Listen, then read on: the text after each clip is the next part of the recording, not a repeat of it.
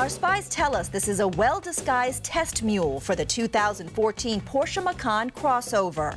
Wearing a fake front and rear treatment, the Macan, which means tiger in Indonesian, is at least a foot shorter than the Cayenne and will be ready to pounce on the likes of the BMW X3 and Range Rover Evoque. Details are still sketchy, but we do know the Macan will ride on the Audi Q5's chassis and will also share the Auto Union's powertrains, which could include a turbo four-cylinder and supercharged V6, possibly even a hybrid. The shape and final styling do favor Cayenne, but it's hard to tell from these photos which details will separate them. We'll know more as we get closer to the official unveiling. The Macan goes on sale next year.